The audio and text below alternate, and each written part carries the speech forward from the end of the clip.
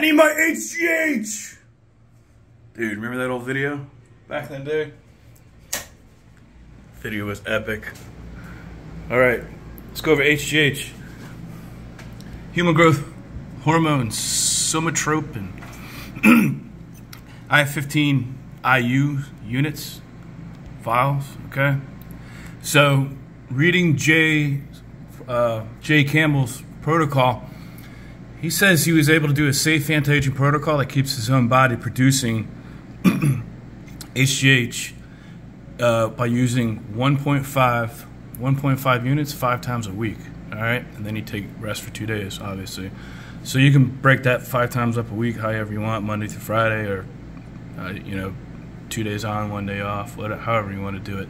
Okay, so basically, this isn't a peptide. All right, this is a hormone replacement therapy. All right, so when you do take HGH, your own supply will shut down, kind of like testosterone therapy. Your own supply, your own supply uh, production will will slow down unless you utilize like HCG or Clomid, Clomid or some other stuff like that to keep your body producing.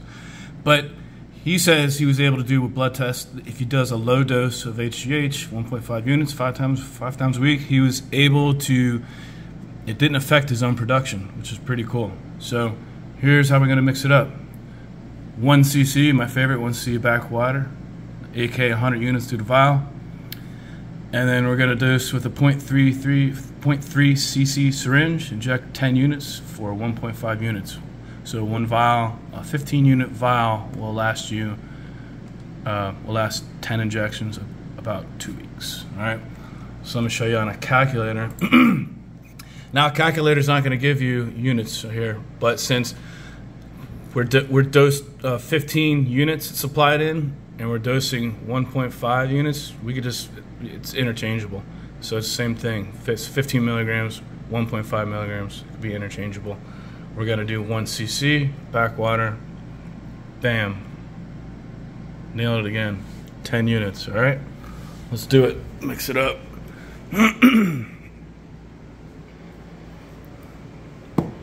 My stand, camera stand. Here we go. Here we go.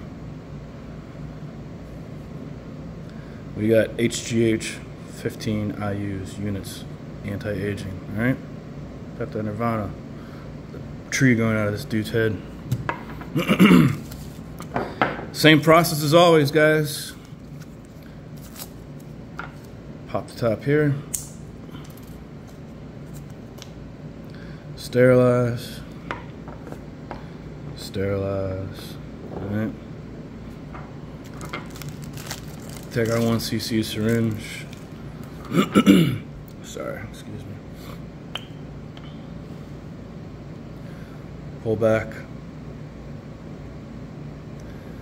100 units of air, 1cc of air.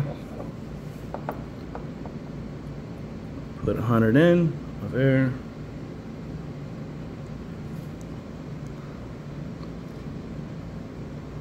Pull back. 1 cc of your bacteriostatic water.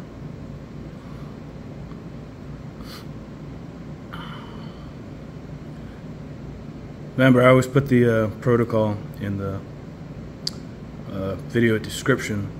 You know, if I remember, I put the calculator on there too. I like that calculator better because other calculator had it had automatic. It was micrograms, so you had to do converting, which is confusing a lot of people. All right, so that's it. So we already wiped this. Do it again. All right.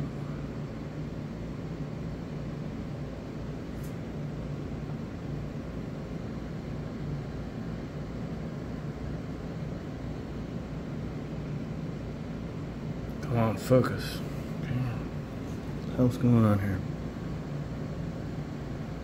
Well, easy enough. Whatever. That's it, man. It's in. Alright. Since these plungers are hard to pull out on these 1cc syringes, what I'll do is I'll take my 0.3c syringe. These are easy, alright? These are sterile. So I'm going to equalize the pressure in this vial real quick, alright? Just pull this out. All right, now the pressure's equal in here. All right. So now, when this mixes up, which this one mixes up pretty quick,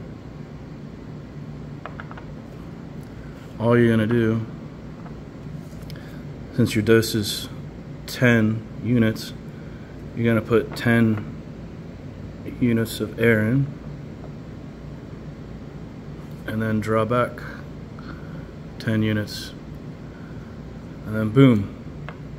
But then I'll be ready to inject. But I'm gonna let that sit around for a little bit and finish mixing up.